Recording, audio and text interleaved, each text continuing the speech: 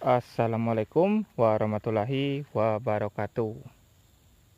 Untuk hari ini kita mau melakukan pemupukan untuk pokok sawit sulaman ya. Nah,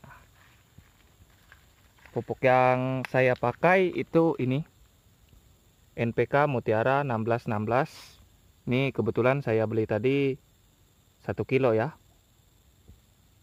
Nah, ini kita pupuk di kisaran 2 sampai 3 minggu sekali ya untuk pokok-pokok yang seperti ini.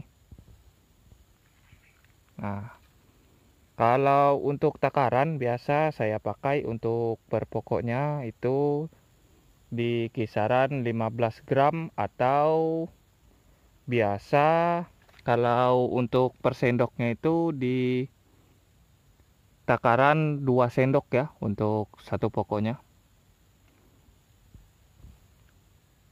Oke, mungkin itu aja. Kita lanjut untuk pemupukannya dulu.